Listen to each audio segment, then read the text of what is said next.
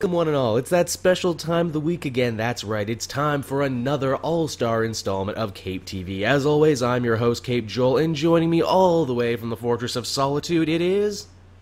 Matt.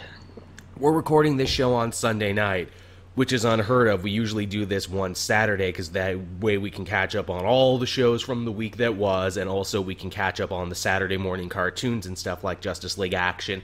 And even Rebels usually airs on Saturday, doesn't it, Matt?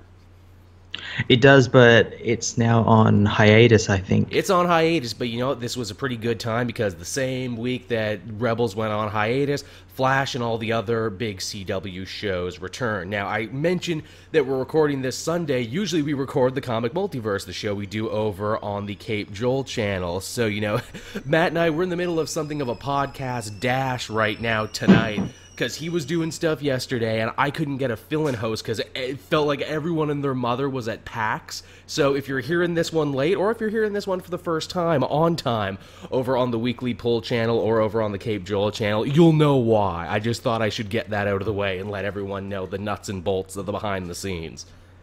Yeah, it was a pretty hectic day yesterday for I think both of us. Mm, oh God, yeah, yeah. It never stops when you're an internet podcast personality. I tell you, not that I'm complaining or anything. I have the best job in the world because we get to talk about stuff like Supergirl season two, episode nine. Supergirl lives. Now, people might not know this about my podcast associate Matt here, but he is probably one of the biggest Superman fans you'll ever be likely to meet. In fact, his Skype avatar right now is him wearing a Superman shirt, so that should let you know. So take this one away, Matt. I'm going to let you take point on this one. Yeah, so this episode, uh, it saw Kevin Smith directing Mm-hmm. uh, his first episode for Supergirl, and Thus, the name a reference to his Superman Lives movie that never got made. it was that there were a couple of references in the episode to that as well. Was there a Um, giant but- spider? Did she fight a giant spider at the end? No, but Mon-El mentions a Thanagarian snare beast. okay. See, I don't typically watch Supergirl unless it's related to a crossover or something. Not that I don't like it, I just don't have the time for another show. But man, that kind of makes me want to watch it now. But or d- don't watch this episode because it was a pretty bad episode. Oh, was it? That's depressing. How come? Yeah. Um, well, this episode saw Supergirl and Mon-El go after a bunch of slavers who are taking people from planet Earth thanks to Roulette. Uh, um, do you know who Roulette is? Yeah, yeah, Roulette, minor villainess. She was in Justice League a little bit there. She's got like a gambling Yeah. theme, thus the name Roulette. Yeah, yeah. She's like a, an Asian woman dressed in like a red dress with like a tattoo of a dragon or something. Okay, so really she's, she, so she's pretty close to the comic, actually, is how you're making it sound. Well, you know, it's like the easiest co- costume to ever have. It is. It's like China White. What do you need? Ah, just a white suit. Yeah, um, and yeah, she's t- de- dealing with these slavers, and they take people. And one of the characters they take is uh, Kevin Smith's daughter. Oh, uh, And Harley Quinn Smith.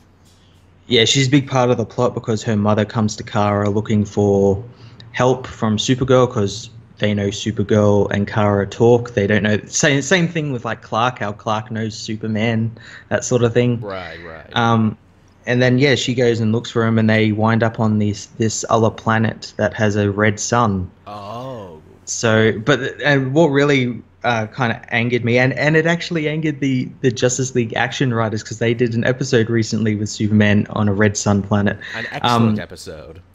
But uh, in this, their powers just go away straight away Aw, as soon as don't. they see red sun. It's n- not like uh, you know over time like it should be. In fact, they did a Yeah, story yeah. just recently in the comics where Superman and Yeah. Lex got sent to a red sun planet, and his powers didn't disappear all at once, and he got to prove that he was good even without his powers. Ah, that's unfortunate. Yeah, and and it happened with Mon-El as well, which doesn't kind of make any sense. But um, Yeah, because his powers work differently, right? Because he's a he's a yeah, a little differently. Yeah, a little differently. But um, yeah, and then it, it's just really Supergirl being Supergirl without her powers for the rest of the episode. Right, it's one of those. Just, now you were telling me you weren't a fan of Mon-El's costume. I haven't seen what it looks like in the Supergirl show yet. Oh well, like, he hasn't got a costume yet. He's just wearing like the Oh, usual person thing. But um, he gets one. I think either next episode or the next episode after that. and um, it's just a DEO suit, like a um a tactical suit, like they wear in Shield or something. Oh, what was But with what was wrong with the with red shoot- onesie and the blue cape? That, that well, that's the thing. Like, I don't know why they can't do that if they can do stuff like Supergirl's costume, Superman's costume, Martian Martian, Manhunter. Manhunter's. Yeah, why can't they just give him like like some ceremonial Daxamite robes or something? It, it, it seems to me, Supergirl, and this is like someone from the outside looking in, they are very hit or miss with their costume. Either they get it great, like Supergirl, Superman, Martian Manhunter, even freaking Banshee looked amazing in the Yeah, show, yeah. or they totally flub it like Red Tornado. Yeah, it, it's so weird how they do it. I don't know whether it's because of budget or something, Mm. but but then again, with like Mon-El's costume, it's basically Superman's costume but with no S. Yeah. and it, and then eventually he gets like a little S like badge on the side of his his costume, but like they could just reuse the costume. Now, let me ask you this, because again, I don't watch Supergirl regularly, and you're, of course, an expert on all things Superman, so I defer to you on this one. Have they dropped any references about the future and Legion of Superheroes and that sort of thing yet? Well, I'll get to that when I talk about Flash because there's something that happens at the end of this episode that I think relates to Flash. Ooh, and we know these two shows are going to be having a crossover very soon. Yes. So, so parting thoughts on Supergirl Lives? You didn't sound like you were much of a fan. Not this episode. It, it, it definitely seemed like a back to basics when they were on what were the NBC or something when they mm-hmm. deal with more of like the the teen drama sort of thing because they also had like a a big subplot with Kara's sister and Maggie Sawyer because they're a thing. Oh, are they really on the show? Oh, really? They brought Maggie Sawyer into the show. Holy shit! Yeah, yeah, yeah. She's been around since the first episode, of season two. Um, did, did But they yeah, have her partner Turpin yet, or have they not brought in Turpin? I think they referenced him in the first episode. Oh, that's pretty good though. Yeah. Tur- Turpin, who is of course a reference to Jack Kirby. So if they ever, if we ever see him, they'll need to find an actor who looks like Jack Kirby, which is difficult because not everyone looks like Jack Kirby. So yeah, that was Supergirl. Not a big or not as big a fan as you have been of past episodes. Not a n- not a great return, but there's places for it to go by what you're making it sound. oh yeah, definitely, definitely. Okay, now at this point in the show, we would talk about Arrow, except for the big problem that I don't watch Arrow. I've tried to suffer through season one, but couldn't do it because Green Arrow is my favorite hero, and it's hard for me to see anything short of what that show does as sacrilege every week. I know plenty of people like it, and that's fine. I know many people have told me, you know, oh, you got to hop back into it, you got to give it a chance. And I've heard other people who used to like the show tell me, nah, it's been going downhill since season four. Matt used to watch it, and the way we used to do on the show is, you know, he would tell me about it and we'd kind of riff and whatever. But now you've quit too, Matt. What was the final nail in the coffin for you for quitting Arrow? Well, I, I just kind of forgot about it. Yeah, I mean, like, it- it's funny. It was the show that kicked off this whole CW superhero show renaissance, and yet, despite that, they give you less and less reason to come back to it by the sounds of it.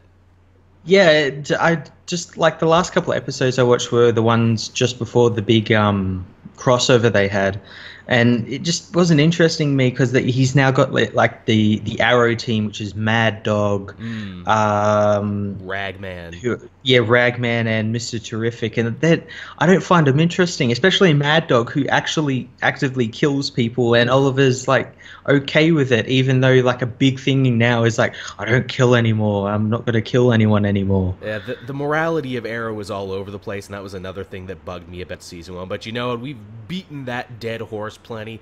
Let's just move on from there. We just wanted to acknowledge Arrow, so people who were a fan, you know, weren't uh, weren't asking, "Hey, where's Arrow?" And that's not to say we'll never talk about it in the future. I always wanted to design Caped TV as a show where we could bring in guests who watch shows we don't, so they could talk about them. And in fact, if everyone I knew wasn't away at PAX, I might have gotten someone in to talk about Riverdale. Did you see that Riverdale, the new Archie show?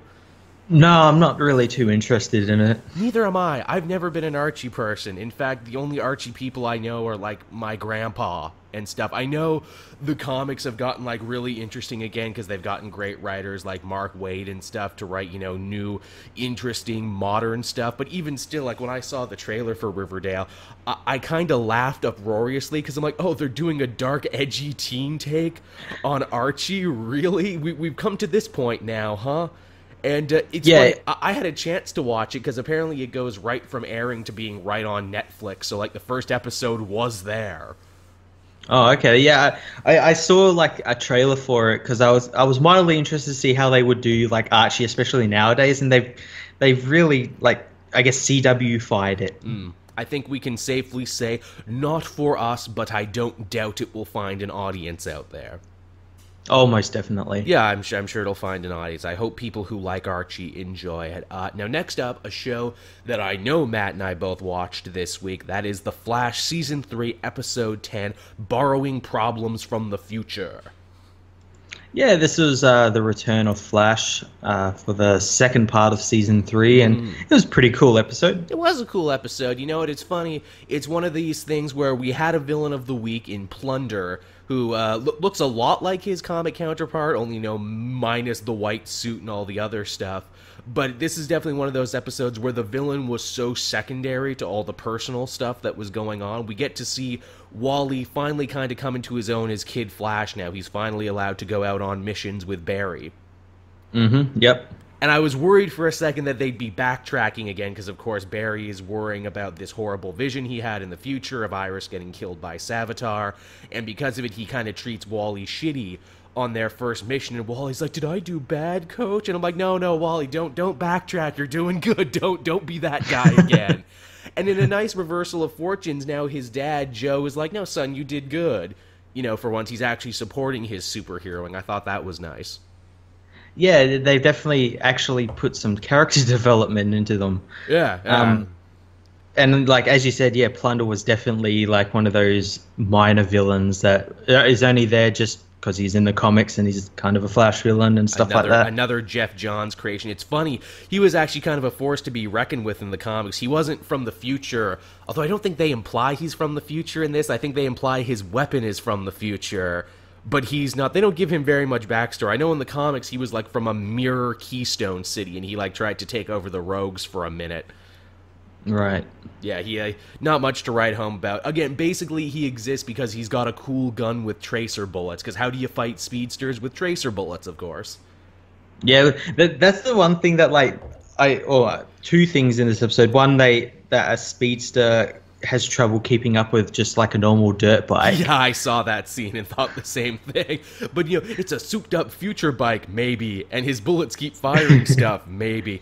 It was a cool and, scene though, as ridiculous as it was, considering how fast they've been shown to be in other episodes. Yeah, and like the bullets, what I don't get, they're, they're like super futuristic bullets, so you think they they can like go through anything and whatnot. So like why doesn't Barry just like go invisible and face? He eventually does that, but they get stopped by like concrete. I was thinking like these bullets are like top of the line future tech, like, and they're stopped by something that's been around for thousands of years. Like, doesn't make much sense. yeah, that's a, that, that's a problem with the Flash. Sometimes he forgets he has near godlike powers every so often. Yeah, yeah, totally. Like he forgets he can throw energy and go invisible and do all sorts of stuff. Oh, come on, man. If we had superpowers, I'm sure we'd forget we had them. Wink. nah, man, if I could throw energy, I'd be throwing it all, all the goddamn time. If I could walk through walls, I'd be doing it all the goddamn time. but yeah, I mean, there's that. Uh, Wally, or not Wally, uh, Barry finally comes clean to Iris about what he saw. You know, I see, I see your death and she gets all freaked out and they come clean to the team and everything. They don't come clean to Joe though. You notice that? Yeah, I, I can imagine why. Man, you know, you think Barry would learn now where it's like, no, no, no, no, you can't tell some people the truth and keep the truth from other people. You gotta either tell the truth all the time or none of the time. he's very he's he's very, you know, uneven when it comes to that, isn't he? And it's bitten him in the ass yeah. how many times? Yeah, yeah, a lot. a lot, a lot of times. Uh, we go back to the paper, uh, the one that used to be held by the evil Reverse Flash with the byline uh, written by Iris about the Flash disappearing in a crisis. That's changed now, which means the future has changed. And it's funny, Matt, that date that they give, I think it's like May, was like May 17, 2017 or something? Yeah, something like that. Something like that. That's that's the date for the season finale of this season. Oh, there you go. That's a nice touch. I was a fan of that. I'm like, oh, look at you being all clever and having the big important date be the season finale of this season. Uh, what else was going say? Oh, uh, Julian Malfoy, that's what I call him, Julian Malfoy, j- joins Team Flash officially now. And honestly, I'm really excited about it. I think ever since the original Harrison Wells left, that team kind of needed the dick to outweigh everybody else. Yeah, yeah, especially with this new like hipster hmm. Harrison Wells, who, who's kind of hit and miss He is a lot of the he? time. He really Yeah. is. You know, he won me over near the end of last season. He was annoying me a little in this episode, then he won me back again. I mean, you got to give it to that actor though, Tom Tom Cavanagh, right? That's his name. Yeah, yeah, oh, he's a great actor. He's amazing, and he really is the glue that kind of holds this show together. I think he's the secret weapon. No wonder they keep bringing him back in different roles. Yeah, yeah, totally. The uh, the other big thing about this is that the heroes eventually realize uh, if they can stop certain events in history from happening, then maybe they can save Iris from her death at the hands of Savitar. And it's cool because they totally end up, you know, like lampposting events that will happen in the future. They talk about Barry's fight with the Music Meister, which will be coming up in the Supergirl crossover. They talk about Gorilla Grodd, which is going to be a huge two-parter. Yep, yeah, they're, they're going to go visit uh, Gorilla City as well. Ah, that's going to be so cool. It is. Can, can you believe, Matt, on television, we already have sidekicks and we're going to be getting Gorilla City, where in the movies they're just getting all this started now. Yeah, it, it's pretty crazy. The amount of stuff you can do on television is just insane in this day and age. And the other big thing is they talk about Killer Frost being at large. So at the end of this, uh, Caitlin will eventually probably take up the mantle as Killer Frost. We just don't know if she's going to do it as a hero or as a villain yet. She'll do it as a hero because that's what's happening in the comics at the moment. Yeah, of course. She's getting a massive push in the comics right now off the back of Justice League uh, versus Suicide Squad. So it only makes sense that she's going to eventually become a hero. Which, man, they, they, forget, you know, the CW Invasion team or whatever. Flash has the makings of his own super team on his show right now. Oh yeah, totally, definitely. It's crazy the way they're doing Yeah, that. but but um, just before we finish it, I'll just talk about that uh thing I was going to talk about in Supergirl. But um, at the end of yes. Supergirl, um, when oh yeah, another thing I forgot to mention in the Supergirl episode because it's just so forgettable. Apparently, the Dominators are in there. oh, still. Yeah, they're the Dominators of Supergirl's universe, and they're um, they they know who Mon-El is for some reason. Interesting. Um, but a bunch of these people that we've seen, I think we saw them in the first episode or one of the first episodes, or at the end of season two, uh, end of season one. Um, these people are looking for Mon-El. We don't know who they are, but they're like these hooded people that came from space, We- and they have like a holographic projection of Mon-El. We don't know who they are, um, but they show up again looking for Mon-El. But I think this maybe relates to what happened at the end of Flash this week, which is another hooded person with a holographic projection Yes. of Harrison Wells shows up. Yes, she sure does. Did you love that that scene was totally Terminator, right down to the stuff blowing in the wind, her coming through the portal and landing like the Terminator? Yeah, yeah, I could definitely see that, and I think they're related to the Legion of Superheroes. Mm, wouldn't that be something? Again, because these shows are going to be crossing over soon, wouldn't it be something to be like that's that's like the B plot of the Music Meister thing? Like, oh hey, you get this fun musical episode, but also you get them kind of talking about and maybe launching Legion of Superheroes.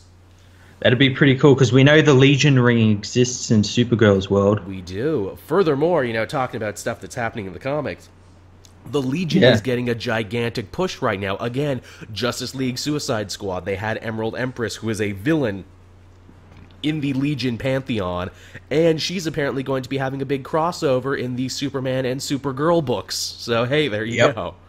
Yeah, I could definitely see it happening. And if you've read the Supergirl book, and I know Matt has, it's basically just the Supergirl TV show now. It really is. It really is. So you know, hey, it, it might happen. In fact, I I have it on some good authority that that's exactly what they're going to be doing. But you didn't hear it from me. so that's that's the way the winds are blowing with that one. But yeah, Flash uh, borrowing problems from the future. I liked it. I thought it was a fun first episode back. I know sometimes, and again, we saw it with Supergirl. The first episode back's a little bit shaky. Yeah, yeah, definitely. I thought this one had a good beginning, middle, and end, and I like that it gives us stuff to look forward to to be like, hey, these are the big events coming down the pipeline, get ready for those. yeah, it hints at some awesome stuff to happen. Definitely. Now, after that, we had the Agents of S.H.I.E.L.D. Season 4, Episode 11 Wake Up, Yeah, this was a Melinda May centric episode. which are always some of my favorites. Basically, May is trapped in the Matrix. Basically, yeah, it, or not that trapped in a matrix in a matrix. Yeah, oh god, it's it's Inception. There's layers of Matrix in here. Yeah, and she has to try to escape, which uh, leads to some really cool fight scenes with Oh, her and Aida and a bunch of other people as well. When she's fighting Aida in like the empty apartment room thing, I'm like, push her out the window, push her out the window. Yeah, she pushed her out the. No, kick her off the thing. Kick. Ah, she kicked her off the thing. God damn, the May fights are the best fights in this show, isn't it? Like, I think it's hard for them to top her fights. There was the one where she fought like the May impersonator, and now this one Yeah. with the android. And they do that great bit too where she's like hitting Aida really hard, but because she's an LMD, she doesn't feel it. She just keeps walking. yeah, yeah, the the whole Terminator thing. Yeah, wow, it's a really Terminator heavy week, wasn't it? Yeah, yeah. so yeah, I mean, we had that story going on, and then we had the actual Maybot, the Mayborg, who after the previous issue is or issue issue, I like I call them issues, not episodes. You can tell what my day job is. After the previous episode, she's starting to question her own robo humanity now and what's up, and because of it, she sort of turns on Radcliffe after a fashion. yeah, she starts she starts to become a little bit, I guess, self-aware and and mm-hmm. aware that she is a robot and she's not, I guess, real. But she, she thinks she's real because she has literally a copy of May's mind in her mm-hmm. head. This is all reasons why AI is a freaking crapshoot and why you shouldn't play God with robots. No, no, you shouldn't. Yeah, I mean, there's there's a lot of stuff going there. I like that that the Maybot isn't so subservient to Radcliffe, and now she's kind of got her own side story going on now. This Pinocchio, am I a real boy thing. yeah, it's definitely it's really cool. I did not expect them to go that way with it, and and just to make it even crazier, Radcliffe drops the bomb. Oh yeah, she's not the only LMD. I snuck another one in there you don't know about. Yeah, that that's gonna be pretty cool. And we, I guess, it was kind of him, maybe, Possibly. because I know because at the end of this episode, Fitz shoots him, and we find out that Radcliffe himself also has an LMD. Yeah, I mean, it, or is that a red herring? Is that the thing? Are they Yeah. trying to fake us out on it? I uh, Yeah. My mind or my theory was always on Fitz himself because Fitz has been alone with Radcliffe so much he could easily have swapped him out at any point and we wouldn't have known. Yeah, totally. I, I think it could definitely be that, or or they could flip it again, and it could be Simmons. Oh yeah, yeah, because you're you're spending so much time concentrating on Fitz. It might be. Yeah, yeah, that's true. This is this is just a good old fashioned robot who done it. I'm sure a lot of people out there who remember Battlestar. It's kind of like, oh, who's the Cylon? Yeah, and uh, along with that, we also got the story with the government and everything, and um, because after last week's episode where we found out that Mace isn't an Inhuman or isn't even a super soldier, No, he's Um, faking it. He's a big faker. yeah. He's a big phony. Coulson's trying to trying to get that power from him and uh, Talbot, and it doesn't end very well. No, it's a real uphill battle. They basically end up getting called into the principal's office and get yelled at. And and the reason they end up having to deal with the government is because uh, Senator Nadeer, the evil senator who's back in the Watchdogs, wants Daisy to sign the Sokovia Accords, which is a wonderful piece of continuity. Yeah, yeah, totally. It's it's really great. It's, they've already had um, uh, Yo-Yo sign it, so now they want some more Inhumans to sign it. And it's even better is that Nadine is like knows everything that's going on inside Shield because she's connected to May as well because she can see through May's eyes. Yeah, yeah, she, she's got a rat or a mole or however you want to put it. Yeah, that ah, so great. Yeah, I mean, there's a, there's a lot of stuff going on this season. There's a lot of layers. Uh, hey, wouldn't it be funny if Talbot ended up being the other LMD? That'd be insane. Because he just Ta- kinda sh- Talbot or, or Nadeer. Yeah, because they just kind of show up out of nowhere, and like again, they could easily have been replaced at any time, and you would have no idea they were acting strangely. But yeah, I mean that was all really cool. Uh, we get a little bit more of the Mac Yo-Yo romance this episode. I would have to say they're definitely one of my favorite couples in the show, and they're definitely one of the ones most fraught with perils because it's like, come on, get together, just get together, you two. Why is it so hard?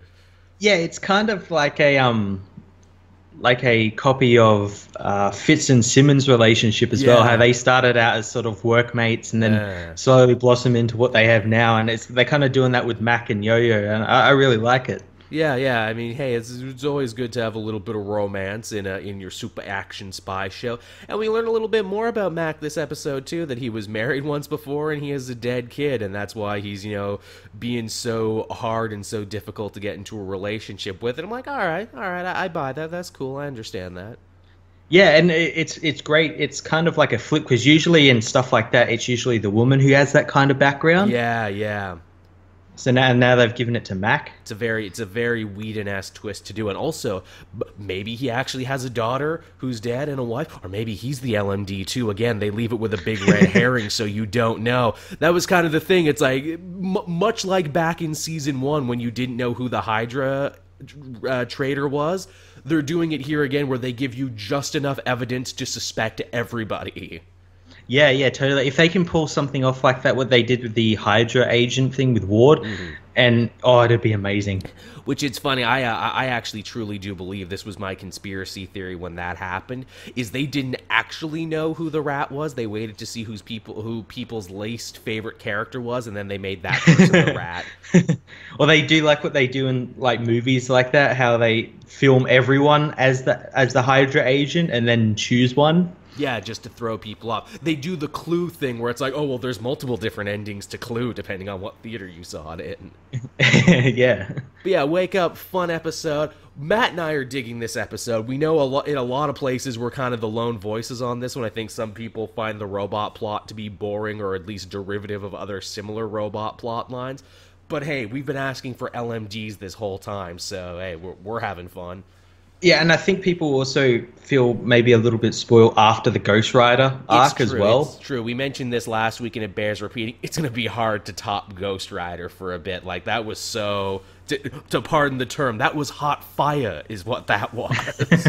this is this is cold steel, but cold steel is also fine. So, uh from the Agents of Shield to the Legends of Tomorrow, we had season 2 episode 9 Raiders of the Lost Art. And again, for people who this is their first time listening to Caped TV or first time listening to Matt and myself, oh boy, do we have a love hate relationship with Legends of Tomorrow. Because, like, even if you like the show, you gotta admit, this show is fucking dumb a lot of the time. They do such stupid things, but every so often they'll do some cool shit. And you'll be like, okay, I'm having fun again. But, uh, yeah, I mean, where, where do we even start with this episode? I guess. To refresh you from the previous season, the team is looking for the Spear of Destiny, which is the MacGuffin that all the bad guys are after. And to get it, they need to find Rip Hunter, but Rip Hunter isn't himself. He's uh, acting like a 60s movie director now. Yeah, and a 60s movie director who goes to school with George Lucas. Yeah, yeah, George Lucas is a huge plot point of this episode. In fact, he becomes one of those time aberrations that they keep wanting to cure. And the deal is because the legends, once again, screwed up history by interacting with it. Again, the legends are bulls in a china shop. They spend half their time fixing their own problems, so much to the point I didn't even think about that until you mentioned it, Matt. I'm like, oh yeah, wait, this was their fault too yeah. the, the fact that George Lucas might not make movies means that he never made Star Wars and never made Indiana Jones, which means Citizen Steel and uh, Roy Palmer the Atom never become geniuses and never follow in their particular field, be it as an inventor or be it as a historian. But it's not enough that they just don't become who they're going to be and, you know, hence don't get access to their powers. They become like dumb. They become like dumb Yeah. heads. Even though, like uh, Palmer says, "Oh, I'm just a heart surgeon now, and I'm just a yoga instructor." I'm like, that doesn't mean you're an idiot. yeah, he's a, he's a fucking heart surgeon. You- You don't just become one. You don't just answer an ad in the back back of a paper. Oh, I'll become a heart surgeon. like again, this is the show here where it's like we really need to show they're dumb though, that they're not the smart guys they used to be. How do we do that? Duh, I don't know. I Well- never, I never saw the Star Wars, so now I'm dumb. The the problem with that is is that they've both been absolutely idiots the whole time they've been on this team. It's true. Like they've been absolutely like uh, like Ray Palmer. He's the biggest idiot ever. He forgot he could rebuild his suit. He forgets to use his suit most of the time. Yeah, it, it's just oh my god. Which, which let's face it, the, the reason a lot of these characters are dumb is tied to budgetary constraints. That's why they keep breaking up Stein and Jax, even though they're Yep. only good together when they form Firestorm. Yeah, and and you know they're on every poster and everything for this show, except they're hardly in it. It's true. This was another episode because the B plot, which, as far as I'm concerned, was the good plot, was Heatwave coming clean to Dr. Stein that he's been seeing visions of Captain Cold all over the place and he fears he's going crazy, and the doctor kind of helps. And that was the good part of this episode, and it involved no punching. It was a very quiet, downbeat story.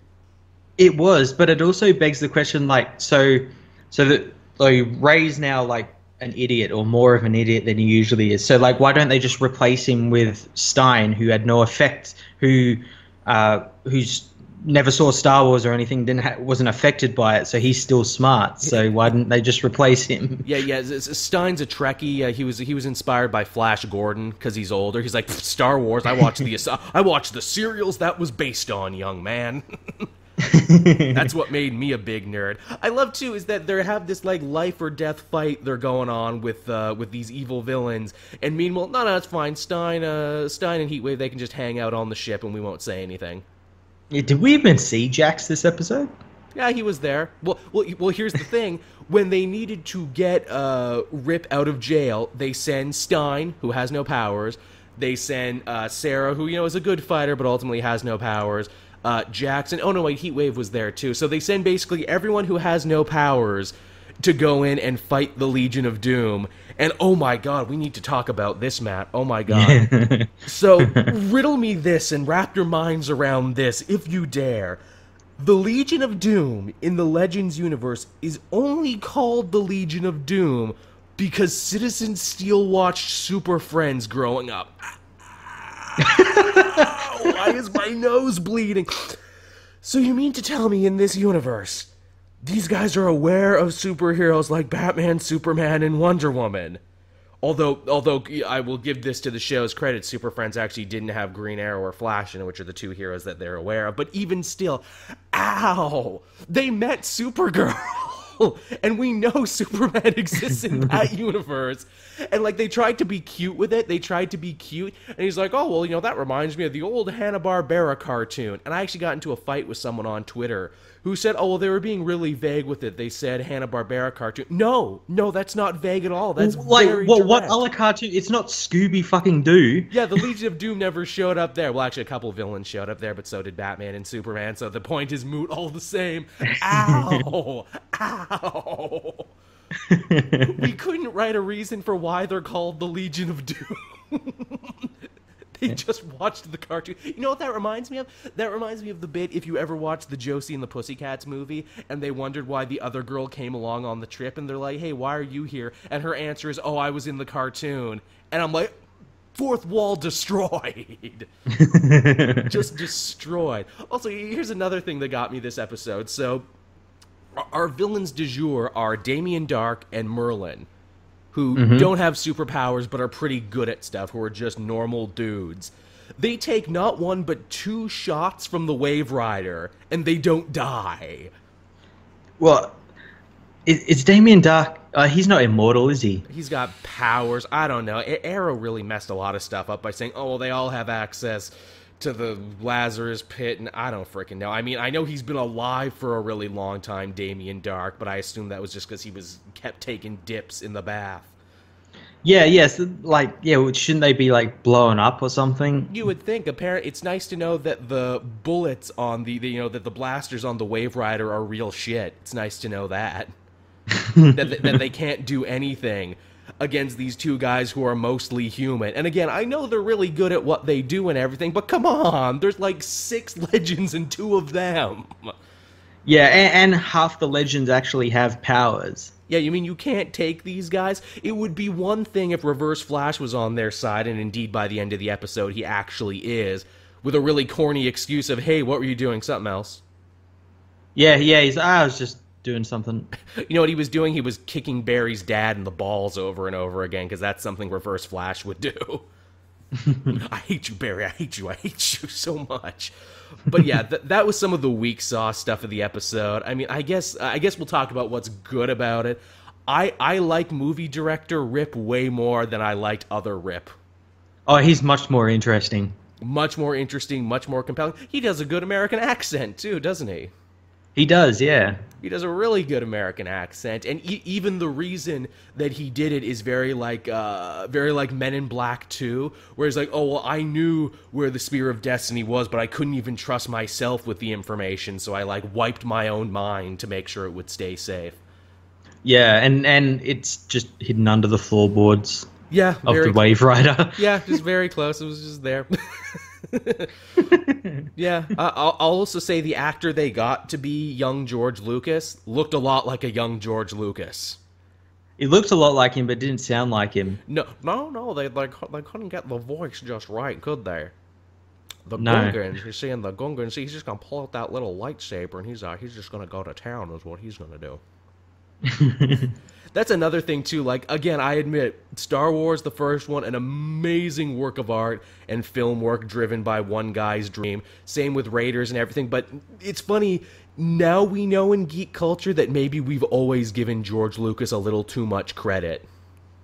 Yeah, well, like it's weird. Like I understand like why they they did like the whole Indiana Jones stuff, but like shouldn't shouldn't Steven Spielberg get some credit as well? Yeah, yeah, he was also kind of involved in that. And furthermore, should not the lady who edited the original Star Wars, who, who, who was Lucas's wife, right? She was the one who uh, Yeah. edited. Shouldn't she Yeah. get more credit for saving what we all know now is actually a really terrible movie? In uh, what is it? In, in like when they first shot it, like she saved that in editing. Should she not Yeah. get some credit? Yeah, yeah, and all all the like the producers and stuff that Mm-hmm. that told Lucas like what was a bad idea and what wasn't. No, you can't have a giant green rabbit in here. No, you can't have any of these other things. Li- li- like here's the thing like yes I, i'm glad you know we give credit to george lucas for being the font from all of this springs from but we know now with hindsight being 2020 and also just a good rule of thumb movies arts in general is a really collaborative process it's usually not just one person so hey Yep. It, yeah. Yep. So like, hey, nice job, Legends, for you know trying you know give a tribute piece to this one person. But you know maybe maybe next time understand that it's more than one person. Because here's the thing: go go watch what Star Wars would have been if just George Lucas got his way. Yeah, it's called Episode One. Yeah, it's called Episode One. Yeah, it's just, I I think you overestimated old old Georgie on this one, but uh, yeah. So that was that was Raiders of the Lost Ark. It was fine by Legend standards, even if there's a lot of really dumb stuff in it. But dumb stuff is par for the course Yep. in this show. I, I always kind of say watching a new Legends of Tomorrow is kind of like watching The Room, where it's like, oh wow, how are they going to mess up this time, and how hilarious will it be when they do? it's it's one of my favorite bad shows that I will keep up with because again, every so often they'll do something amazing. Yeah. An, an, another bit b- b- before we end this conversation, the show, because I just thought of another really thing that made me laugh and have a great time. So, so Rip is taken hostage at the end of the episode by Reverse Flash, and he's got all these torture tools. He's like, "Oh, I'm not going to torture you; they are." And then they turn over to the darkness, and I'm like, "Oh, there going to be some new characters here we haven't seen before?" No, it's just Damien and Merlin again. I'm like, "Yeah, we know who they are. They've been here all episode." Yeah, it, it felt like that was like they weren't meant to be in the episode, and that that was their reveal. Yeah, why did they get such a cool reveal moment when we've literally spent the entire episode with them? Yeah, they should have had like like wouldn't have been interesting if it was like like Captain Cold and I assume that's what it was going to be. and someone else. Like that would have been a good way to bring him back. because they keep foreshadowing Captain Cold's return, and it's only a matter of time until he comes back, oh yeah, until he finishes making Prison Break or whatnot. or whatever it is that got him away. It's it's only a matter of time until he comes back again. Which shit, you know, wouldn't it be fun if they had a Heat Wave and Captain Cold spin-off show? That'd be pretty cool. I'd watch the hell out of that. Actually, it's funny when uh when was it when Damien Darhk and Merlin were walking around L.A. It almost seemed like they were trying out for their own spin-off series where they're like, ah, look how funny and interesting we can be, huh? huh? Ain't, ain't we cool? We could be like a buddy cop show, couldn't we? Just walking around, getting into adventures. Wouldn't that be great? And I'm kind of like, yeah, kind of.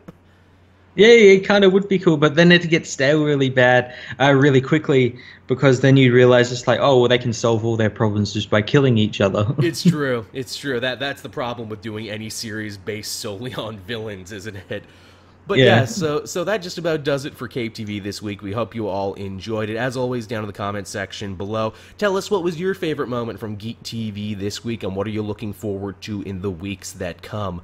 And uh, yeah, I mean, I guess that'll just about end it for us. Matt and I, Matt and I have got a major, major uh, podcast marathon we got to do. But before we go, because again, we understand a lot of people are listening to us for the first time. If you want to see more podcasts from me and Matt, you can listen to the Comic Multiverse over on the Caped Joel channel. And for Matt's work, you can find that on Fortress of Solitude. You'll find it in a link, a description on Twitter or a Facebook or where, wherever I am. I'm I'm everywhere. He's everywhere, man, and no. Uh, I'm always around. I'll also try and put some of our own information down below along with timestamps and everything. So if people want to check us out, I know Matt and I both have links to our Facebook pages for stuff. We both have Twitters and Instagrams and everything else and Patreons and all that other good stuff. You know this stuff by now. You're smart people. You know what the deal is. So we won't bother any more of your time. We're, we're at usually the time for this show. So we'll, we'll call this one a day. Thanks again for listening,